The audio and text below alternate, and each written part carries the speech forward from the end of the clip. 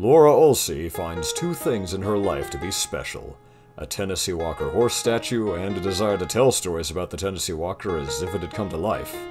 Laura's an intellectually curious girl. She seeks out concepts she believes will enhance her storytelling, regardless of how new they appear to her. Is she beginning to develop a talent? Will her curiosity get the better of her?